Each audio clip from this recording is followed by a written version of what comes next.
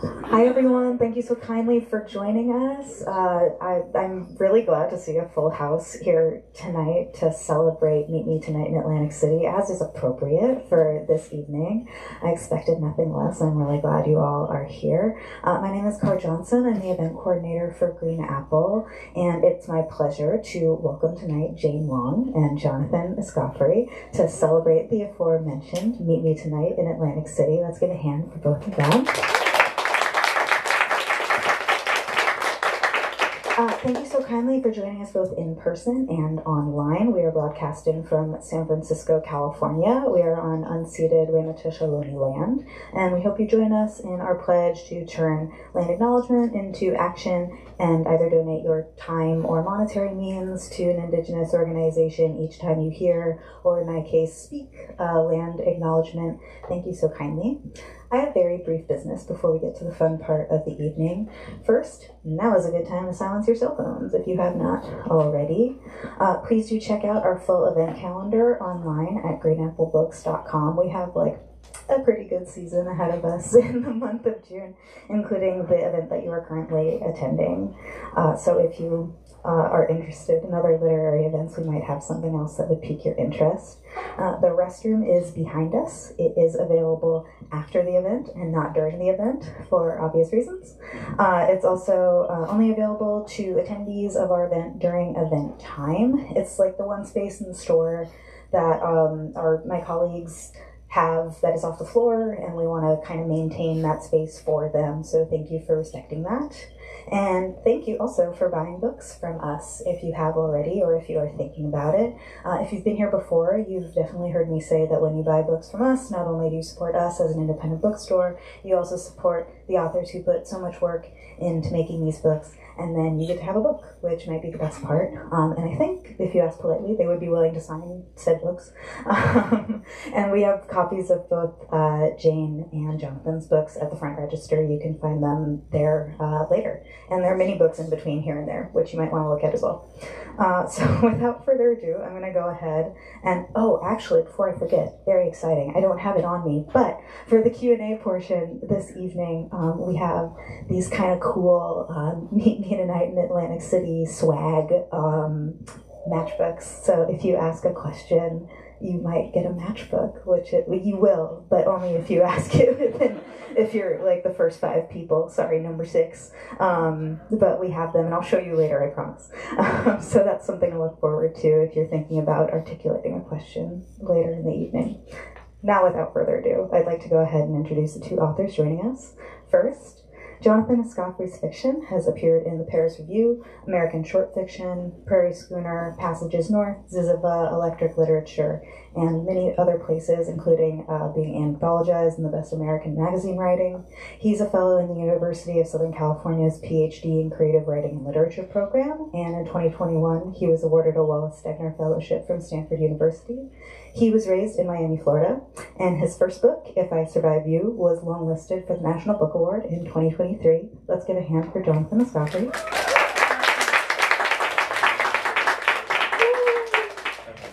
And last but most certainly not least, the author of How Not to Be Afraid of Everything and Overpour. Jane Wong is a Kundiman Fellow and the recipient of fellowships and residencies from the U.S. Fulbright Program, the Fine Arts Work Center, Breadloaf, and others. Her writing can be found in places such as the Best American Non-Required Reading, Best American Poetry, Poetry, McSweeney's, Ecotone, and many other places. An associate professor of creative writing at Western Washington University, she grew up on the New Jersey shore and currently lives in Seattle, Washington. Her memoir, Meet Me Tonight in Atlantic City, is the reason we are here tonight. Please give a hand for Jane Wong.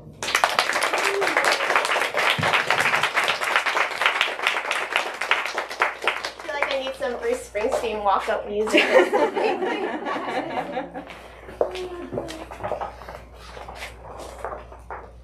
That's hot dogs.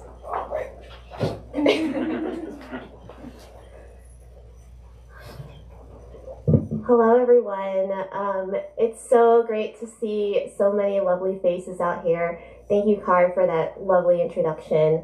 Um, and I'm absolutely thrilled to be here with Jonathan. Um, I remember when we met at Randolph College, I got your book and I read it immediately on the plane, like coming back um, from when I met you, and I was like, uh, can I, I can curse, yeah. Holy shit. I was like, sorry, I just like, uh, I'm just like, whatever. Um, I was like, holy shit, this is so good.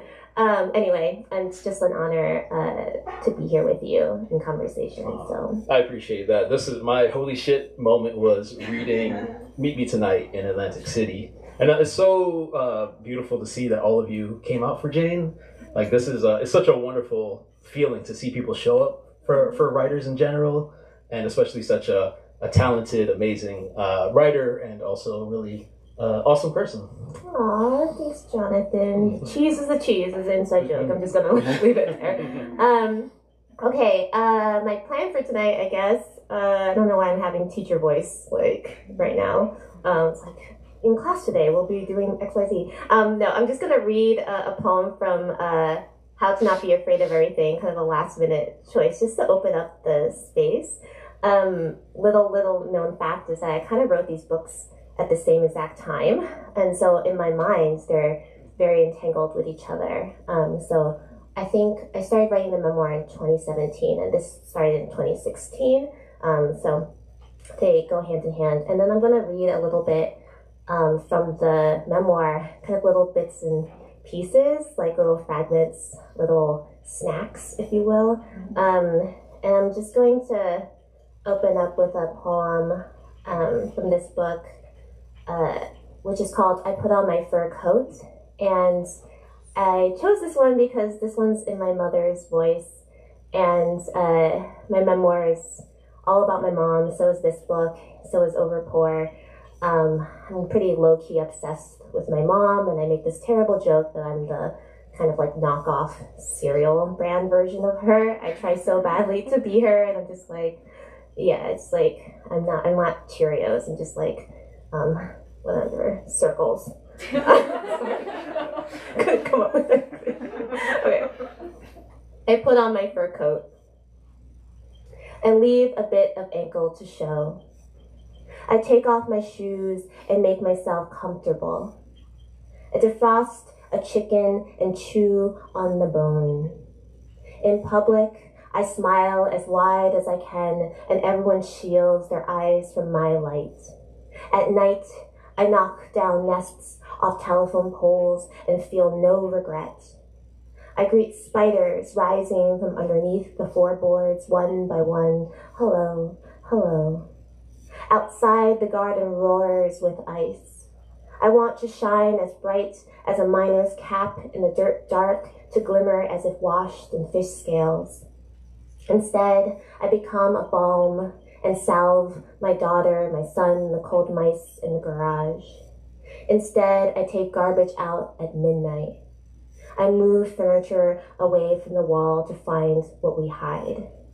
I stand in the center of every room and ask, Am I the only animal here? Um, I wrote this poem because my mom, uh, when I was growing up, and the memoir talks a lot about um, class, uh, which I feel like we don't talk enough about, um, and what it was like to kind of grow up um, quite, you know, low income, working class, and we lived uh, paycheck to paycheck and like had a lot of debt.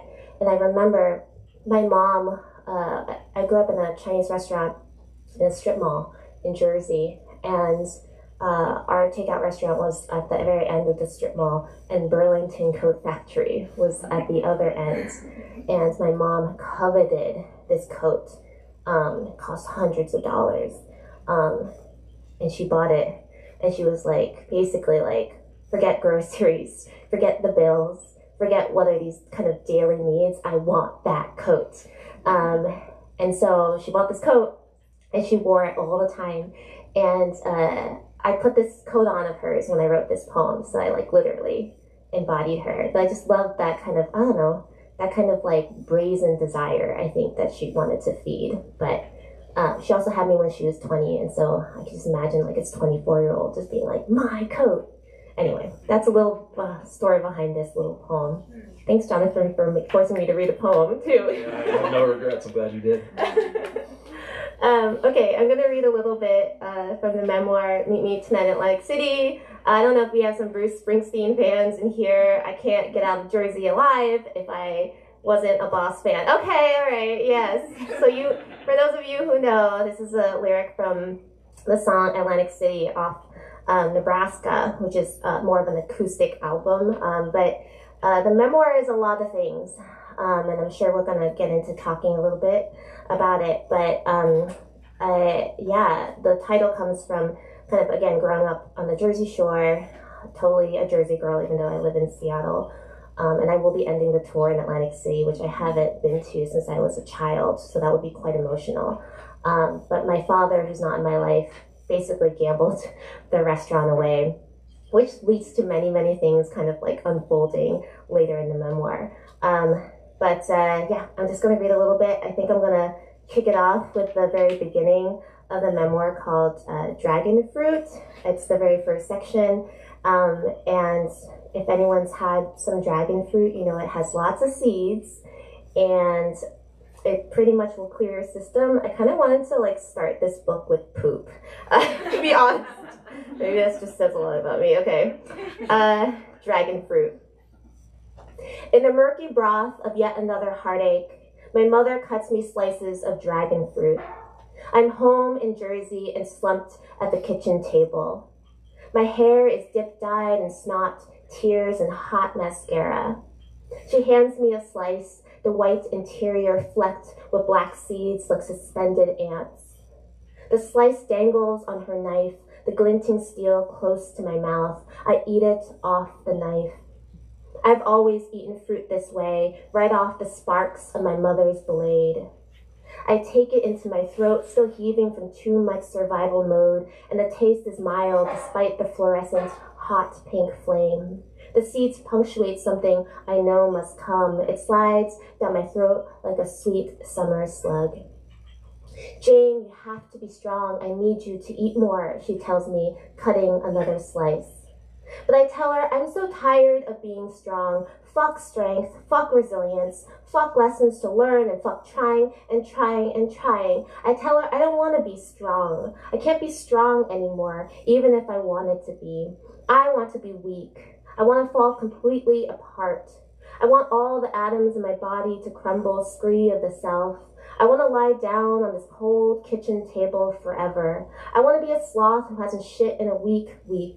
Cracked ice, dish soap bubbles, mild hot sauce, rabbit paralyzed by fear, my breath leaking from me like an ellipses week.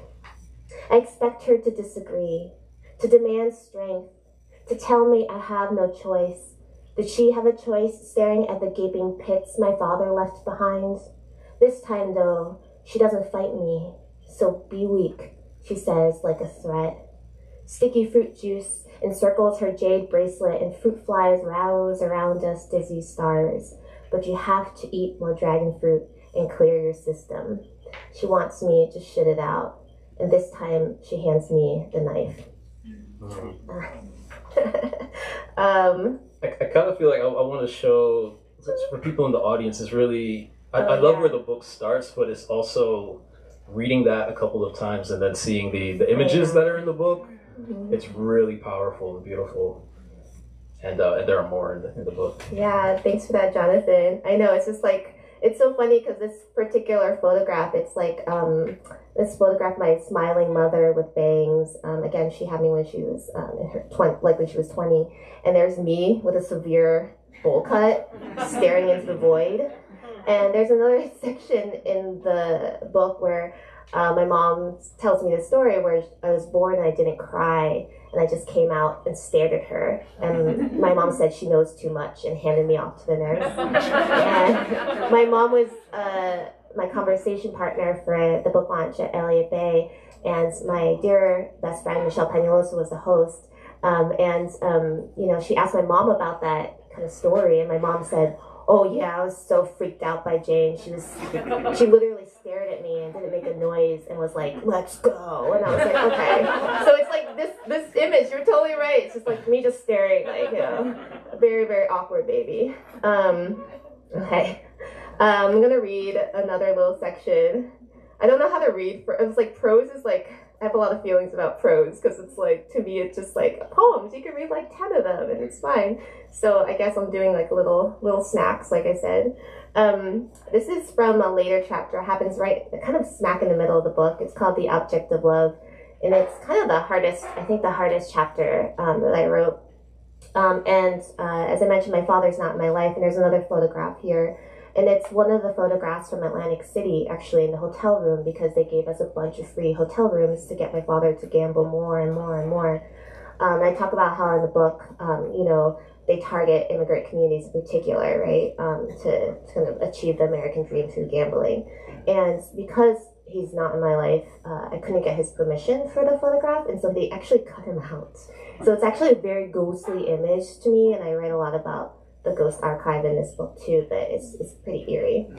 I'm just going to read a little bit from The Object of Love, and it has little mini chapters in it. I'll just read a few. The Object of Love. The Band. There's this joke I have with my close friends. There's this band called Jane and her ex boyfriends, a rotating cast of overzealous drummers, cruel bassists, patronizing guitarists, and faux do gooder cellists. All I do in the band is scream and play the egg shaker. okay, you're supposed to laugh, okay? the object of love. I think about what it means to write about heartache and the hope of love. I've written only a handful of love poems, all of which have turned into heartbreak poems months or years later. I think about what Toni Morrison said once during an interview with The Guardian in 2012. The times I didn't write, maybe I was in love or beloved. Somebody was making me the object of love. Am I in love now? Am I writing now? I have this habit to buy new journals, clean, crisp, and empty, without the ensuing pasta sauce stain or leaky pen marks or jagged ripped out pages. Most of my journals are half finished, some even less. A bridge that simply never made it to the other side. I keep buying more notebooks, opening them up in the middle to see if they have enough weight to lie flat. I creep around bookstores, touching stationery, dreaming of the perfect ruling, the perfect semi-gloss finish. What could make me fill these pages? Why can't joy be the thing? I think about what I'm allowed to write about. I was told by several people in the book industry to focus only on the Chinese American immigrant experience, on growing up poor in a strip mall takeout restaurant, immigrant gold, intergenerational trauma dessert. I remember an email I received once from a community member, a white woman, who asked me to read at a local poetry event the next day. She wrote, this is verbatim. We need you. Women need you. White Bellingham needs to hear your powerful poems. And then she emailed me again after I declined, asking if she could read a poem on hunger on my behalf. Can you send me a poem or two to read? They may touch on diversity. Chinese restaurant are not having enough to eat. I will read for you. And then yet another email when I didn't reply. We gathered a variety of spicy poets. They're so hungry for immigrant trauma, they lap at blood before blood can even exist. But isn't love mine to hold too? This shimmering dip in the heart, this rattling terror? Wasn't it some kind of love that led my mother to cross that shore? Isn't love what siphons nourishment to the organs? As a Chinese American woman, as a child of immigrants, how can I divorce my experiences from love and fetish, terror and hypersexualized violence? And can't I write about all the parts, all the tentacles, all the mycelia that make me who I am? Toni Morrison continues, Look, five years I've spent on some books. I suppose you can love somebody for five years, maybe. I don't mean lust, you can do that forever, but I really mean love them the way you say you love children. I don't know. That means I have to remember all the times I was in love. I keep coming back to these last sentences which haunt me. The not knowing, the wobble, the wreck, the reluctance to remember being in love. Why is writing about love so hard to do? It is so hard to do. Writing is my singular love, my truest love, because I can control it. Even in doubt, I touch its familiar face. I'm going to read the very end of this chapter because it makes me laugh. It's called The Mommy Boyfriend. the mommy boyfriend. There's also this other running joke. My mother keeps telling me that she'll be my boyfriend. I'll be your boyfriend forever and ever and ever, she says over the phone. And she means it. I will take care of you and tell you how special you are every single day. And then she pauses and starts to laugh, but no sexy stuff. um, I think I'm going to pause there. And maybe I'll read another section as an answer to your question. So, uh, yes, I, it's hard to explain this book. It goes all over the place, but that's like me, though. So I had to be true to that. So, and I love that in the book you talk about the places that the book goes and the way you have constructed it in a kind of non chronological order. That's that's really wonderful too. And thank you for the beautiful reading as well. Um, I, I wanted to ask why that particular chapter was the most difficult for you to, to write. Yeah, that's a great question, Jonathan. I, you know, I was thinking about how uh, complicated I feel about being an immigrant baby. Um, I feel like there's like this expectation, you know, of like writing this particular story. Um, and I, it's, I remember when I first uh, kind of started to write this book, and I, let's just say I, I fired my agent, or like, let's, okay, I said, I said that. Um, or no, I was to say it wasn't the right fit. Okay, see, this is, yeah, yeah. it wasn't the right fit. Um, mostly because I think he really wanted it to be a book that was located within that kind of immigrant narrative, my younger self. And he was like, what's with all these ex boyfriends um, in the book? And what's with all the talk about love and intimate relationships? I was like, that's inherently connected to the immigrant experience, to me. And so it's interesting that I think the object of love happens right in the middle of the book because it's almost as if the book kind of starts off with like, oh, here you are. You're gonna hear a story about like me growing up on the Jersey Shore, where you know uh, my father gambled the restaurant away, and we went to like illegal dentists, and we had like in Chinatown, New York City, and went through this kind of. I hope that essay is kind of weirdly funny. It's called Root Canal Street. You know, I wanted the tone in this book to have like a lot of humor, despite the fact that there's so much trauma in it. Because I, I didn't, I did, I personally couldn't write a sad book. Honestly, I need to laugh at so many things. But uh, I think why it's so hard to write is that it happens right in the middle of the book to kind of like awaken me and the reader. And it's just like, this is not what you're going to expect. Um, and I think that that was such a hard chapter because it really kind of dove into, I think, the things I'm the most scared of. Thinking about the title of my poetry collection, How to Not Be Afraid of Everything. Like, I needed to like lay bare, I think, like all the kind of um, yeah, very sexualized violence that has been done to me um, by these said ex-boyfriends. Um, and I was like so worried that was like, oh, how is that going to be tied to me growing up, growing up in a restaurant, strip mall? But it's like, it is tied. That's my life. This is a memoir, right? Like, why would I cut out a certain part of my life?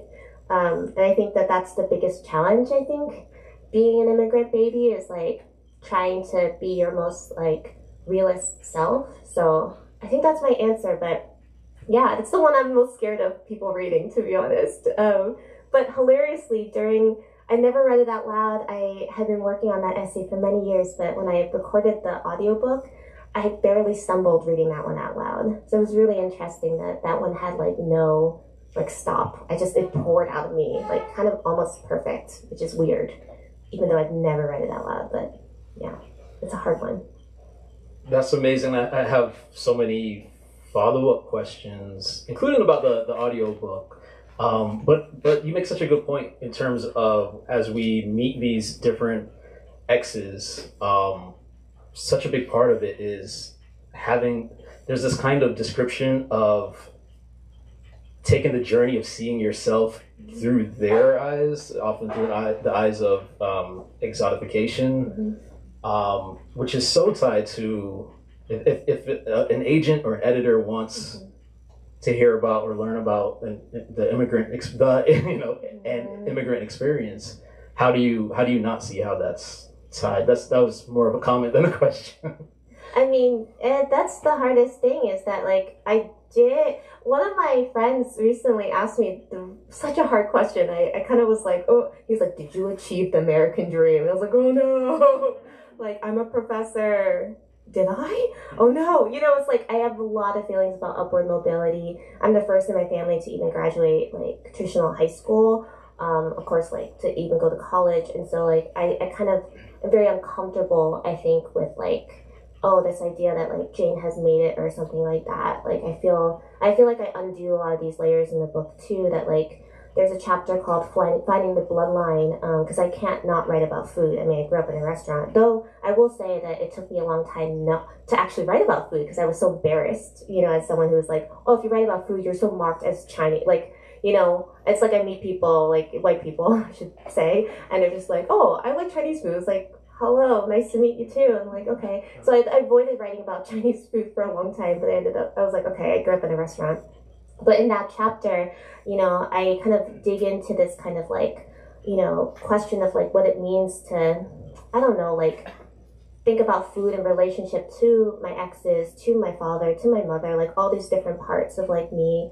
Um, and like really thinking about you know, why I can't throw away cilantro. I have to eat like rotting cilantro, and it's because of my family's history, you know, with the Great Leap Forward. So everything is entangled, I guess. The book is nonlinear um, and like very entangled because that is what migration feels like. I think maybe this is where my poetry background comes to play, where I'm like really a big fan of form and content. Like, and like, it has to be a slightly like, you know, messy and nonlinear in order to like replicate the feeling of like the tumult of migration. Um, but I promise you, the constellations start. It does. I have a. I have a reasoning. Like the constel. If you get to the end of it, the stars will align. That sounds like so woo woo, but I'll try. I try my best to make the not the Big Dipper, but like the the big hot pot. I'm sorry.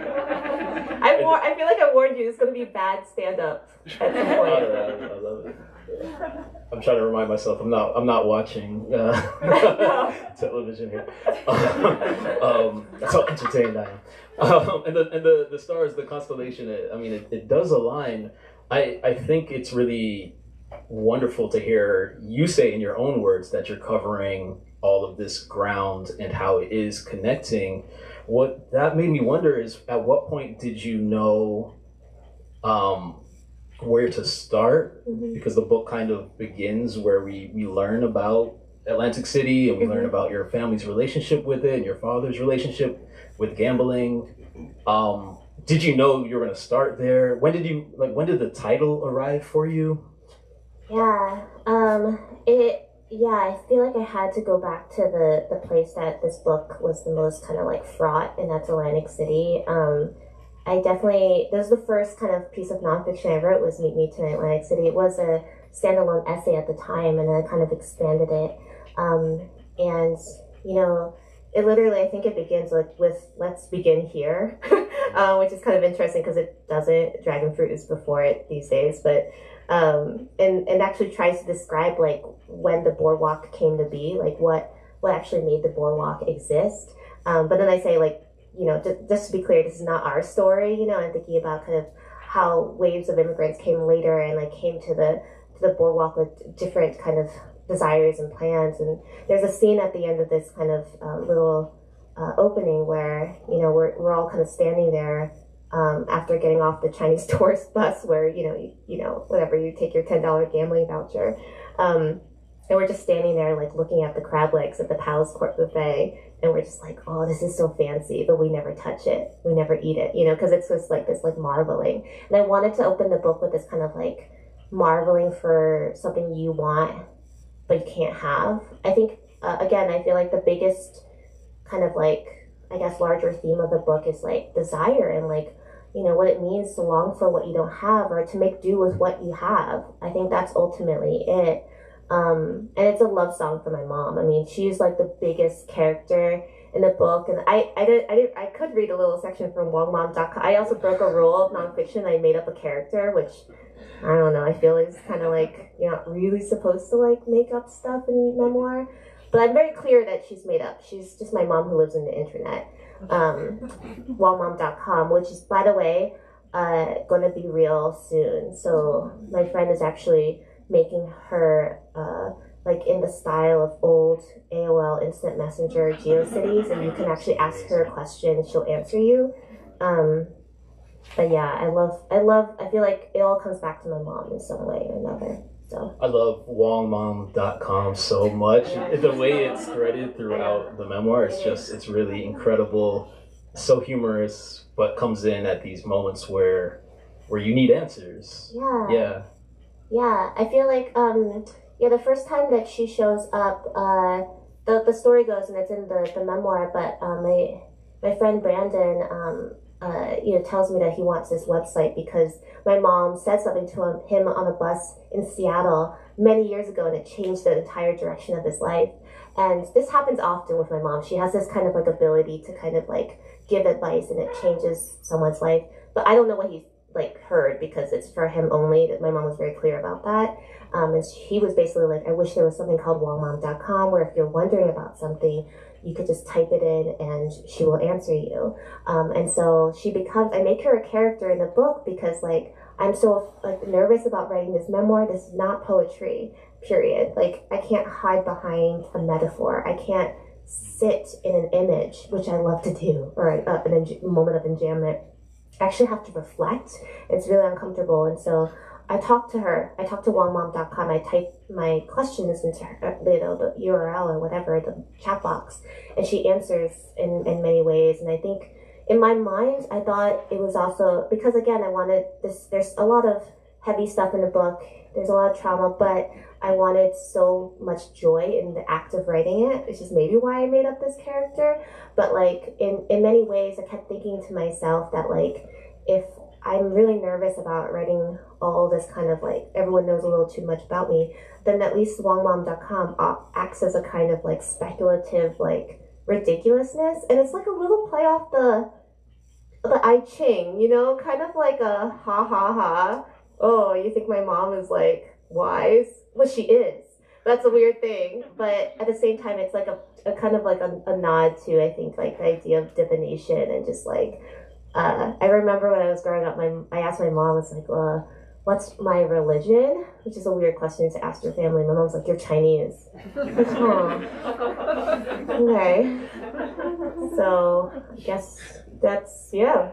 I worship my mom. It's kind again. I feel like a creepy groupie now that I think about it, but yeah. It makes sense because she's she's rendered with so much love throughout the entire book. Yeah. Um, and my my fiction brain was immediately kind of like like that's my favorite character, you know. But you know, but this is this is your mom, and it's really beautiful to to see. Um, you use in the memoir the phrase "restaurant baby," Yeah. and I was. Uh, I think it's really interesting in the way that you talk. You're just talking about class and um, upward mobility, hmm and there's a moment in the memoir where you talk about your mother's attitude towards your cooking or your cooking in the re- restaurant or your, you know, the work that you were Yeah. and were not allowed to do. hmm Um, do you want to talk about that at all? Like what your, because then you talk a lot about food afterwards, and it's it's it's this really interesting meditation. Totally. Um, yeah, thanks for that. Yeah, I um my mom was very adamant about like me not really learning how to cook or like being in the kitchen. I that does I'll be clear, I did all the prep. like meaning like I did all the I cleaned the like poop vein, I don't know what to call it, out of the shrimp. Um, over and over and over. I just sat there and cleaned that shrimp. Um, but she didn't want me to learn how to cook, or she didn't want to be like. She, I never got to like watch her like learn her cooking because she was just like, I want you to to like do something else with your life because the restaurant life is so so hard. I don't know if any of you are like restaurant, you know, in, in the restaurant industry, but it's long hours. It's just physically hard. Um, and I think that this book is also a lot about labor. Um, and as much as it is about class, is that you know I think a lot about how you know, my mom, there's also a chapter in here um, that's about the USPS. My mom's a postal clerk and she's worked a night shift for 26, 27 years. Um, and that does a lot to your body as much as her body has been affected by restaurant labor as well.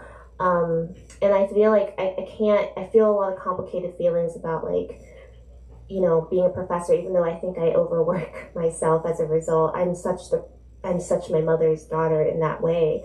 Um, but I think about like, you know, her kind of shooing me out of the kitchen and then what it means to like finally um, you know, like learn to cook later. I think it happens in Finding the Bloodline where I actually talk about how sexy it is to actually like cut ginger. I want to read the line. Sorry, I just like I'm like talking about my book and I'm just like, oh, like I forgot that I wrote it. It's just like I know. Uh, right.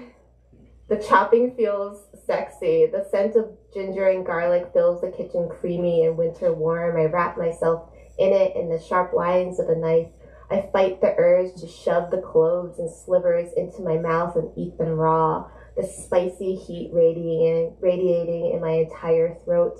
I don't know if I'm doing it right. I've called my mother at work twice already, but it doesn't matter. I need Juk now. My body is wildly out of balance, shocked by anxiety and panic attacks, and I grasp at the one thing my stomach demands. Um, and that's when I, I like basically learned to make Juk or like people call it congee. I of go on this like rant about the word congee, but um, anyway, and, and oh right, in the book I can't say Karen congee, but um, but it was Karen congee, um, which is a white woman who said she basically like discovered congee and was like calling it the breakfast cure. Um, yeah, um, but all to say, like I didn't make this soup. This Juk is like chicken noodle soup for Chinese people and I didn't make it until I was like in my late 30s um, during the pandemic. And so it was like, oh, you know, my mom was just like, she was like, she, I don't know why she didn't teach this like to me, but I remember I sent her a picture, and my brother weirdly had just made Juk for the first time in his life ever at the same exact moment. That's what I mean by these weird cosmic connections my family has. And my mom just like hearted it and just said like, I want it, I want to eat it. And so it was very sweet, but it's weird because if I was at home, she would been, have been like, don't you make it, like you're failing. So it's kind of complicated because she's just like, that sucks, but also like, it's great when I don't have, she doesn't have to eat it. She's, does that make any sense? Like she's like, good job, but I won't eat it. Mm-hmm. Yeah. Can I ask what um, you you told us what the most difficult part of the book may have been um, to, to write was can you pinpoint something that just kind of flowed that felt I don't know if easy is the right word but you know yeah. flow I love that word flow it's like what does it mean um, that's a great question uh, I feel like I took a lot of joy from some uh, chapters in here that felt, I guess maybe that's an attempt at flow, is like the joy of writing certain chapters.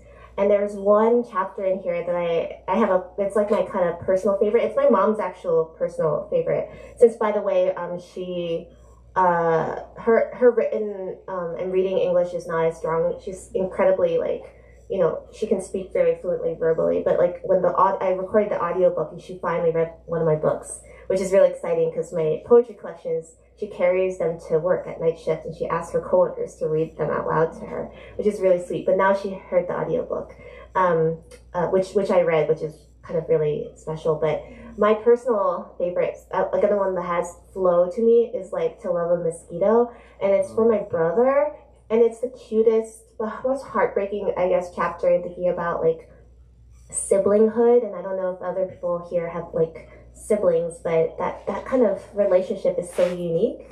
Um, and uh, it begins with us kind of just like crushing mosquitoes on the wall and like the smearing of the blood. And I say, like, if it doesn't look like a painting, it doesn't count. Like, the blood has to like get all up in there, and we count them like scientists, we tally them up, like, and my brother's just screaming, suckers, suckers! And it's just like this sweet moment where we're just like killing these mosquitoes. Um, and then like, but I taught him to play this game called Mosquito Wars. And he's the most tender like person I, I know in my entire life. And he would never ever touch a, a, a creature. And so it's interesting by the end of the essay, it's like he would, I imagine him actually taking the mosquitoes in a butterfly net and releasing them in a park somewhere. Like I, I it's like it's a it's a chapter I think that flows for me because it's like really deepening I think this idea of kind of like what it means to be tender but also what it means to be rageful and how that kind of keeps in check. Um, I had a lot of fun writing this particular chapter, um, and there's this one little eh, like little story that my brother um, he he read this he only read this essay I guess when it was like a standalone essay. And he actually recorded himself reading um, this really hard part of the chapter where my father kind of rejects him when um, he goes over to watch some basketball with him. And my dad's like no i don't i don't want to do that right now i'm too busy. And my brother decides to read this as a kind of like uh, blog content um, for the journal that originally published it and he has his gamer gear on as he's recording this. Like he's a gamer and the you know the headphones the lit up like um, keyboard. He's like let's begin. I want to remind you this is my sister's essay not mine. And he reads this really intense chapter section from the chapter. At the end of it he's just like what my sister said was true. Which is cute. But he's just like but I read this one because when I'm a dad, I will not do that to my child. And it was so heartbreakingly tender, I couldn't publish it. And he spelled mosquito wrong in the YouTube link. And it was like, oh, Steven, you're such the sweetest kid ever. I don't know. Anyway, so I don't know if that's the answer to flow, but I guess flow is like the most like the one that gets me so like I don't know like all the feelings I guess and it flowed really well. I had such a fun time writing it. Um, but yeah, so yeah. I love that. To love a mosquito. It's a cute chapter. You you write with such love about your your mother and your brother. Um, and I wonder just in general writing about people in your life but also looking at the, the more diff- difficult relationships, um, Yeah. these these exes, Oh, the God. relationship with your father. Yeah. Does because I'm, I'm thinking i'm using again like my fiction brain and sometimes when i write about difficult people in my life i'm turning them into characters and sometimes i'm showing them a lot more grace than i can show like the real people who may have caused harm in my life or harm to others.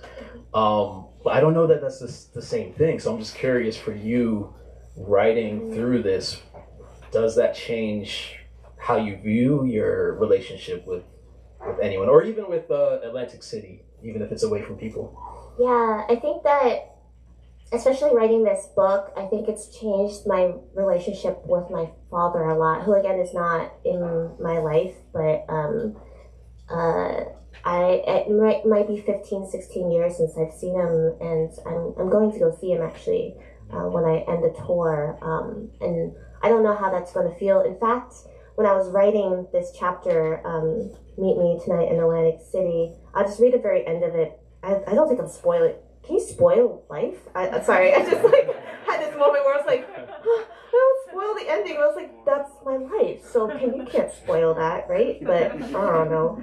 Um, but uh, I was working on this chapter, and I'm the type of person who, yeah, puts on my mom's coat and writes a poem. Like I like to do participatory. I do a lot of like performance art and like visual art and you know stuff like that. And I thought to myself, okay, I'm gonna write I'm gonna end this chapter by going to Atlantic City and like seeing my father and like I will have more to write in this chapter.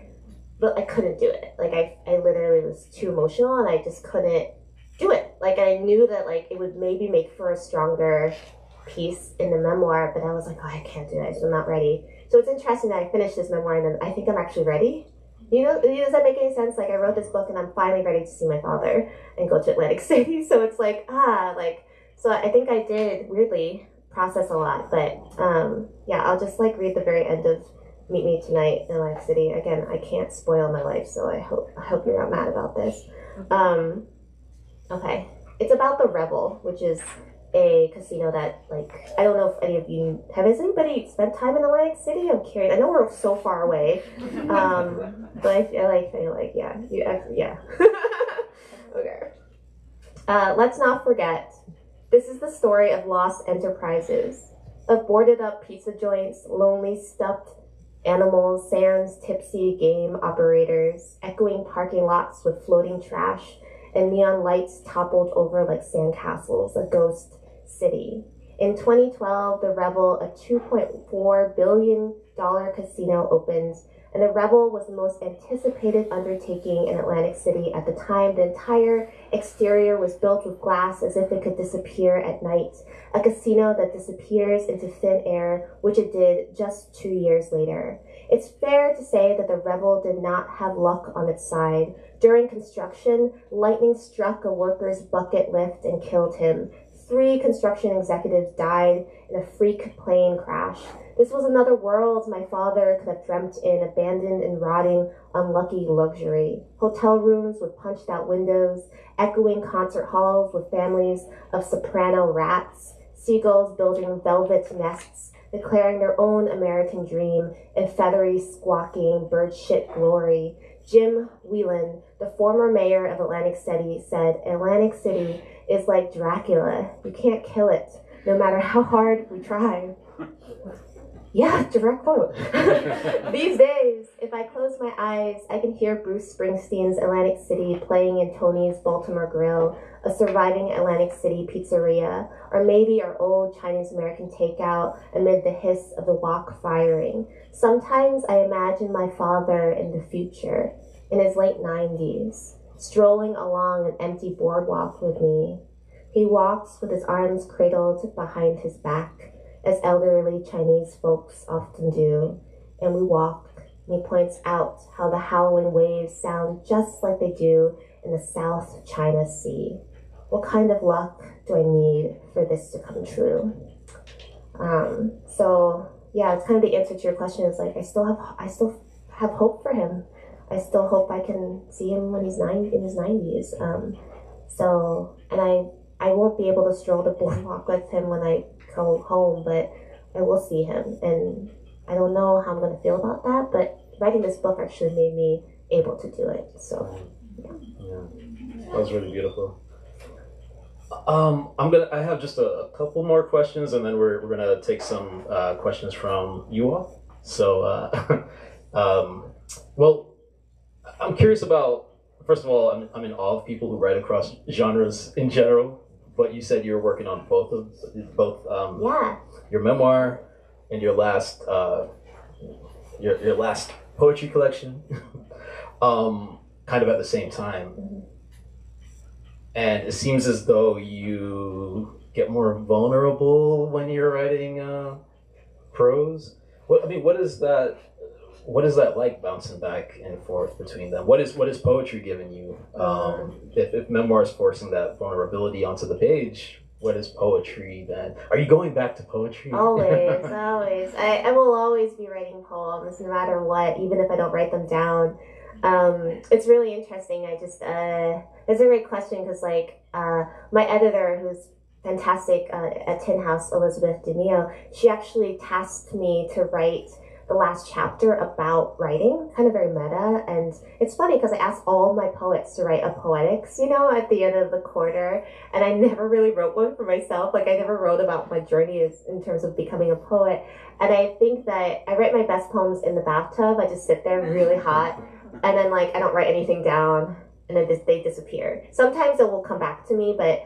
I, I think that poetry for me is like a dreamy space of like intensity. Like it is it is baby Jane opening her eyes, like staring at like the world for the first time. Like I feel like my poet self is incredibly powerful. It's almost like uh like it's my most confident Jane.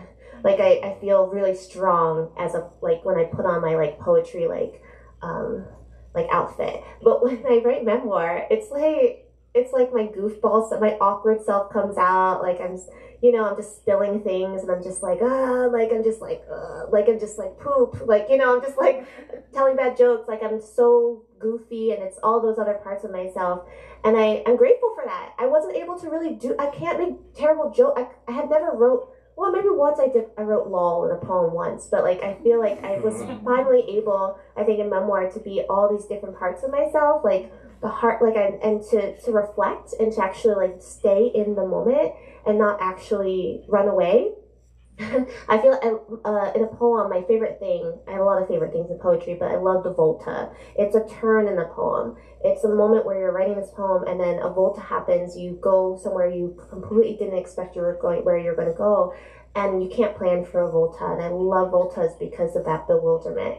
I think in nonfiction, there was a surprising different type of volta for me um, because it was like not a volta in terms of like something that was like based in language or lyricism or even like a formal volta via the space of the page, but it was like an emotional, like it was like like uh like another layer of like my reflecting on my relationships and my life had opened up like this huge cavern and I was like, whoa, this is this is intense. Um, but I also really loved it. I'm so grateful for returning to prose. The one thing I will say too is like I actually began as a fiction writer way, way, way, way back then, like back then. Matt Johnson, who I know mm-hmm. you know, was my uh, you know mentor. I just read with him at Powell's. That was such an amazing kind of like uh, full circle. I think to the person who really inspired me to start writing.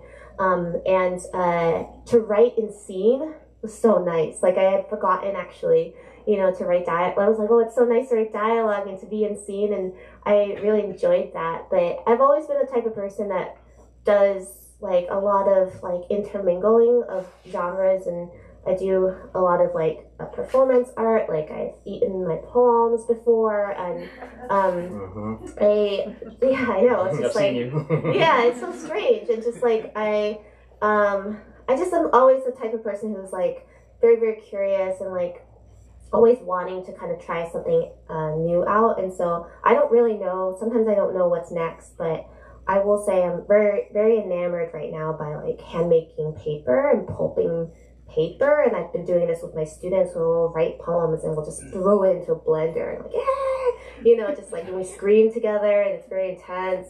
And then we make this beautiful paper that we write new poems on. And then we like blend it again. And it's just like, I don't know. And maybe I'm just, I don't know. I, that's a, not a clear answer between poetry and prose, but I think like, I think I just like, blending, I guess, of, of genre. And I hope that, you know, more people do that because it's so fun. I think we, I'm always trying to get back to my 10 year old self, I think, as a writer. I know there are many, many writers here, and I, I think about the wonder we had and the playfulness we had uh, when we were that age and like the risks that we took because um, we just didn't maybe care as much in terms of what people thought. And I want to get back to that, Jane, so badly. So, yeah.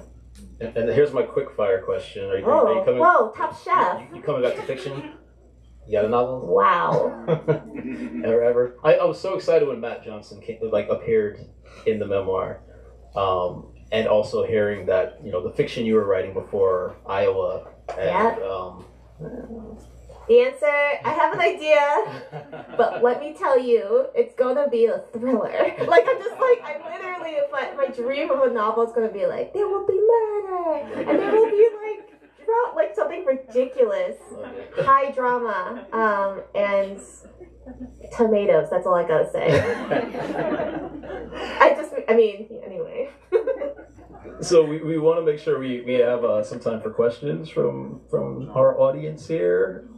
Um, don't be shy. I hear there are oh my god rewards for your. you can light things on fire. It's not the quality of your question here. necessarily, but there are matchbooks. Yes, we have a question here. Okay, uh, it's not a very uh, original question, but uh, which writers um, have you loved, you love, and influenced you, and any Asian or Asian American writers that oh. you love?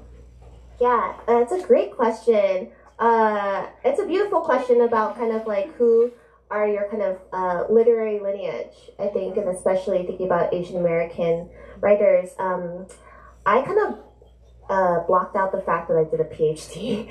Uh, anyway, um, and it was critical. Uh, so uh, I I studied Asian American literature. So I also teach Asian American studies. Um, and so I teach an Asian American lit class. It's like, oh my gosh, like I remember when I taught my very first Asian American lit class, I never took one as an undergrad or even a graduate student. And the first time I was teaching a class, an Asian American literature class, I was taking my own class. I was I was crying over the copying machine. I was like, I'm taking the, the class that I wanted to take, but I'm teaching it. It's so confusing. Um, but uh, I mean, of course, there's so many I can't even start to, to name. But I think that uh, a writer that really has influenced me, I think, like going back to Jonathan's question about like moving across genres and spaces, is definitely Theresa Hak Kyung Cha um, because like her work i think as a visual artist performance artist but like what is Dictee like her book? Like i don't we can't define it and i think that she gave me a lot of freedom i think to kind of like try out all these different types of things like to to try to um, i think like unpeel some of these layers in ways that weren't direct um, i suppose. So she definitely influenced me a lot um, and i will just like I don't know, this is not naming a particular person, but a shout out to, to Kundiman. I know we have a lot of Kundiman fellows in the audience, but like finding like an Asian American organization, like you can feel so isolated, I think, um, in many ways. And, you know, there's a lot of internalized racism as I was growing up, but I also kind of like unpack a bit in the memoir. Um, but it felt so special to me to connect with community. Um, so shout out to to all the fellows in Kundiman. They're definitely everyone I teach, you know, uh, too. Um, but that's a beautiful question because um, I, you know, my students, I, I teach this uh, class, the Asian American Literature class, um, and it's 70, it's a 70 uh, student lecture. Um, and it's a 200 level, and at the end of it, my students are like, "What? What's the next level? What, what's the next class?" I'm like, "We don't have it in the curriculum," and it breaks my heart a little bit because I'm just like, they want more. You know, we went to go see everything everywhere all at once together. You know, optional field trip.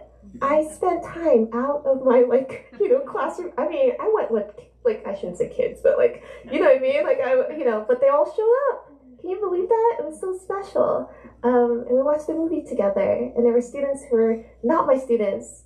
Uh, they brought their roommates, and they're like, "Oh, we wish we should have taken your class." I was like, "You can come."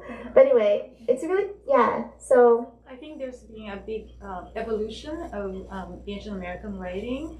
So when I was in college, I read uh, Maxine Hong Kingston. oh, of course, Maxine Hong Kingston, yes. away because there was nothing authentic before Yes, her. woman warrior, absolutely. And I when I met, so I met. There's actually a scene where I meet Maxine Hong Kingston in the book, and uh, she has this wonderful uh, long white hair, and our hair starts to intermingle. And I was like, my dreams are coming true. like, you know, like! And she says to me and a friend Sally and Mal, like, you know, I, you know, I write, you know, for you all, and so it's kind of like the passing of the, the next generation, next generation. So um, I do explore. I think like uh, like I said, like this book is. I don't know if I'll ever write a memoir again. This was really hard, um, and so as a result of like uh, kind of the vulnerability of this book, I was like, I'm gonna put it all in. So yes, it goes down my uh, Asian American literary lineage in here too, as much as it does with you know thinking about my my family, my father and my mother, um, and my shitty ex boyfriends. But um, but yeah, that's a beautiful question. Yeah. Hand in the back. Yeah. Hello. Hi. Um, I was wondering if you could speak more to the relationship between food and literature, and if you would consider the memoir food writing. Ooh, great question about like food writing um, and memoir. Uh, yeah, I love to eat. Uh, I just had like the most delightful bento box right before I got here, um, which I really appreciate because like it's I like little tastes of everything. Like everything has to, you know, like anyway. Um, but I I do think that this book is so deeply tied to kind of like food writing in many ways. I, I if I kind of joke around this, like if I'm not a, if I wasn't a professor, my literal dream would be to be a food writer and like get free food. Like all I want, all I want, universe, listen to me. I just want free food. Like I just want free food. Free food. I'm just gonna say it one more time. Like uh and you know, love to write about it, but like, you know, like I just always love free food. And so I think that there is something about like in this memoir and all of actually how to not be afraid of everything has a lot of food uh, writing in it too since i teach food writing as well. Um, i think that food unlocks a lot of stories right? And thinking about um, you know food justice and our like familial memories like everything is so sensory and sensual and like complicated when we think about our like food histories and our foodways. Um, and I think the big thing for me, you know, which I definitely talk about because I was again writing these two books at the same exact time, is uh, about my my family's you know history and you know my family's you know relationship to the Great Leap Forward, also named known as the Great Famine, where you know uh, my ancestors, my grandfather's family all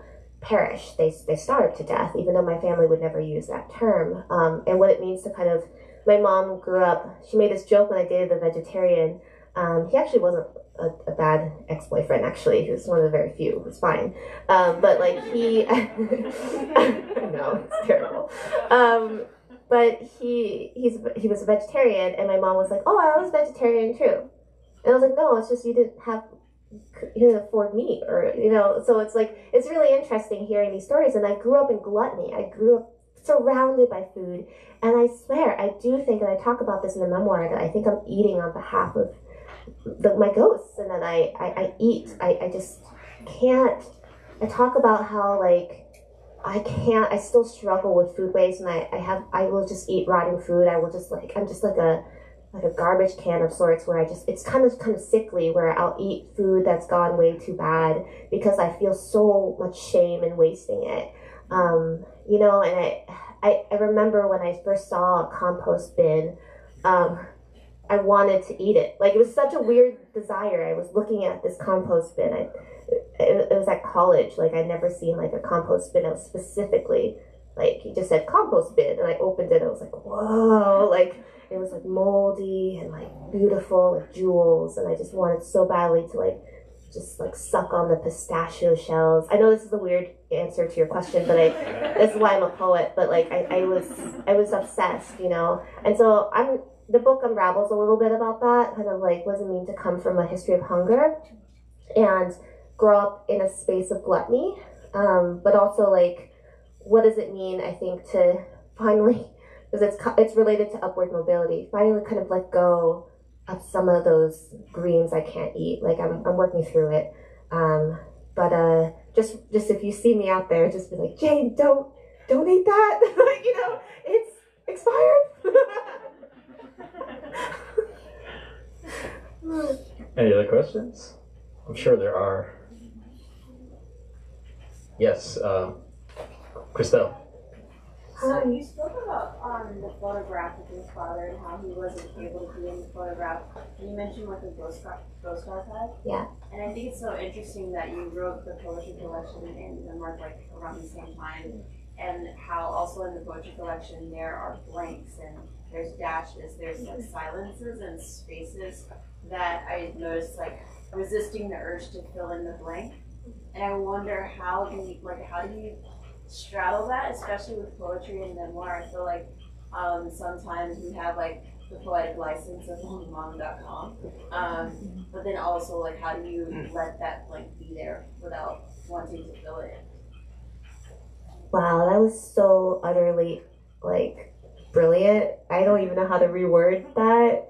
Um, thank you for Don't look that. at me. I was, uh, thank you. That's so so generous. Um, yeah, thinking about kind of silences and um, how in the poetry there are these blanks. Thank you so much for uh, that generous close reading um, in the the form of the poems too, and the, what it means to physically create a ghost archive through spaces and um, breath. Honestly, too.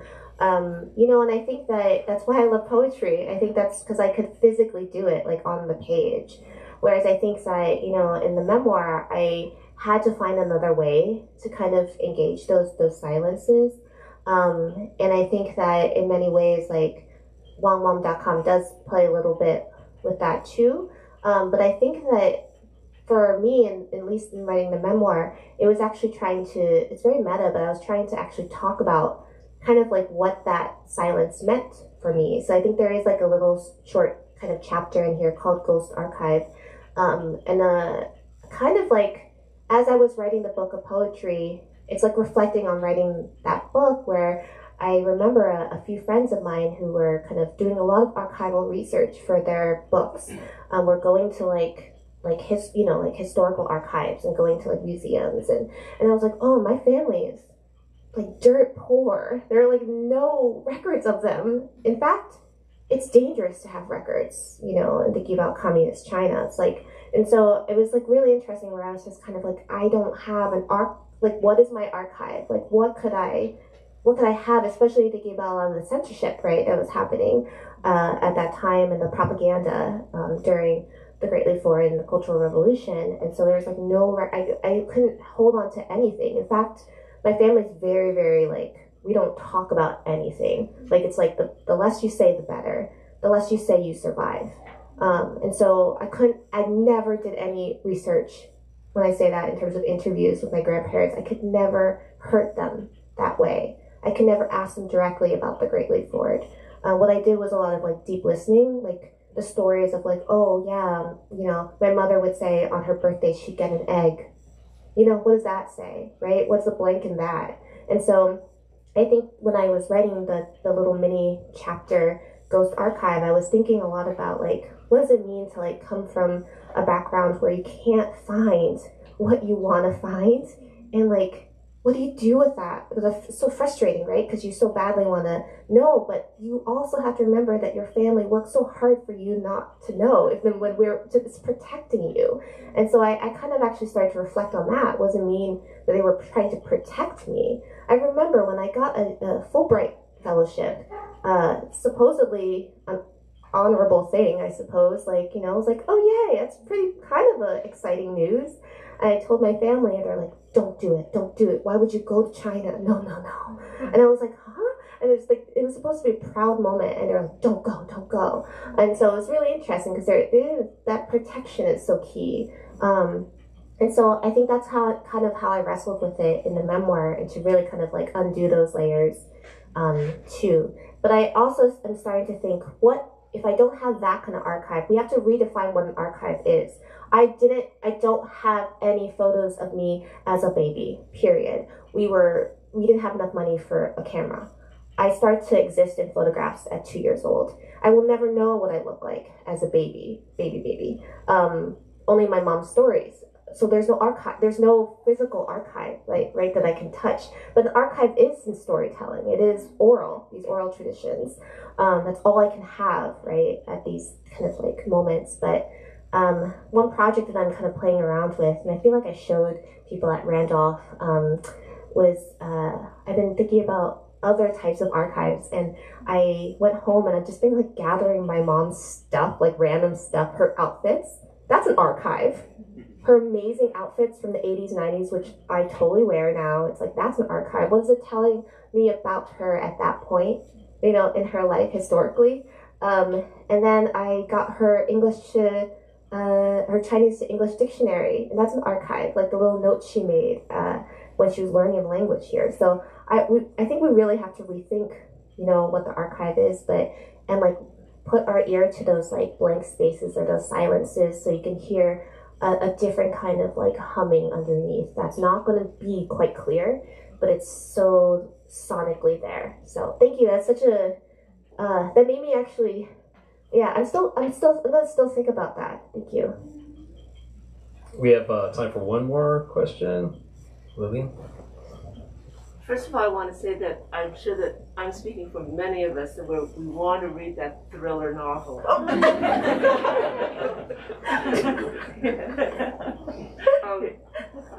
I really liked what you were saying about juk and congee, mm-hmm. that you want to use the word juk. Mm-hmm. And I think my question is what is the process that you go through about how you decide how much to explain? That there there is your what you know and what you've experienced and then you're writing for the reader. Mm-hmm. And what is the process in which you decide how much you're going to explain about why it took mm-hmm. and not congee. Mm-hmm. And when you decide no, it's just going to speak for itself, and, and mm-hmm. the reader's just going to have to to know this is my own personal experience. Yeah, that's a great question about like thinking about using terms like juk and uh, like uh, like thinking about audience, I guess, and kind of the pressures of trying to, or like people wanting to, you have to have people explain things, right? And this was something that like Hans, anyone in the publishing industry is going to like come up against. Like, I remember uh, I said like Toisanese, and it said like I had before I had like the copy editor wrote like a dialect of Cantonese. I was like, well, this really it could just be Toisanese. Like it doesn't have to like have that.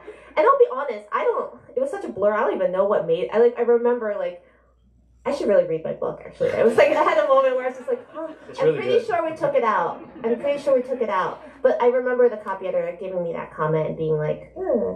or like, um, there are a lot of like moments of like, oh, explain this or tell me about this. And I was like, oh no, uh, I don't want to. And I mean, I think that the book is kind of rageful. Um, it has there's a lot of anger in it.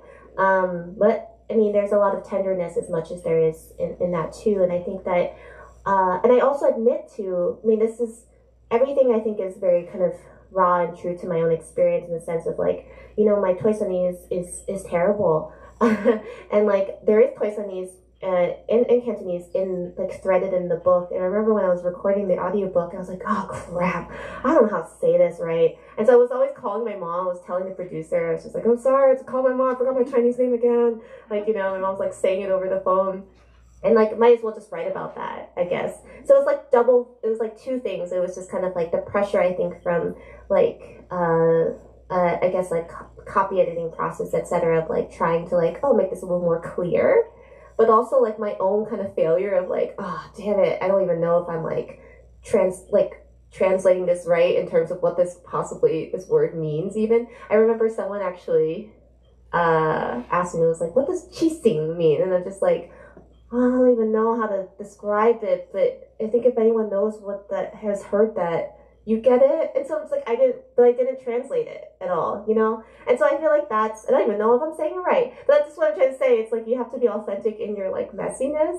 Um but yeah, I know I did some major pushback. I think the biggest thing was like I think that uh when I was recording the audiobook or rather before, um, they asked uh for a professional uh, to read it. Um, but the audition tapes that I heard, um, they were Mandarin speaking, um, and we're not from Jersey. And I, and I was like, okay, um, kind of important to have even a hot mess Toisanese speaker, even a, a failure of a Toisanese speaker is is okay. Like that's me in the book. And if you're not gonna say certain words in a Jersey way, uh, you know what I mean? What if someone said water? What if someone said water? It would disturb me deeply. Uh, so I, I bet I was like, please let me record the book. It was last minute. I think I, I, I think it was like within a few days where I was just like, they finally said yes, okay, and then I was in the studio and I did it. Um, but thank you for that question. And all to say, like, I didn't want to.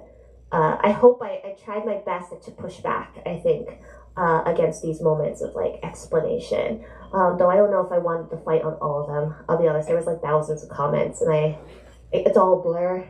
In poetry, no, there are no comments. They're just like, wow, weird, great. so that's why I don't know, but I and I, I mean, thank you to the Tin House team, and they were really, really, they were on it. We went through a lot of copy edits, double fact checking. They really wanted this to be the best book it possibly could, and I'm so grateful for that because, like, I think coming from a poetry background, I didn't even think about any of these things, you know? And so I'm really grateful for that kind of like deep, deep, close, like Hawkeye to the book because I think it be- ended up being the best book I think I could make, you know? Like, even though we're excited, like, I'm like, huh? I was supposed to have a work cited? They're like, yes! And I was like, what? Because I just think coming from a, from a poet's background, I was just like, uh, I didn't even think about it. I don't know why. I should have kept sources the whole time, but you know, things also disappear from the internet. Um, we gotta be okay with that too. So thank you for that question. Um, took forever. And uh, I do believe that's our, our time with Jane Wong. Yay. But she will be signing books for people getting the book, right? So, um, And buy Jonathan's book. It's so good too. You should. You're gonna sign. too. And let's. That was amazing, Jane. Thank you. Thank you. Thank you. Thanks to Green Apple. Keep it going for Jane Wong. and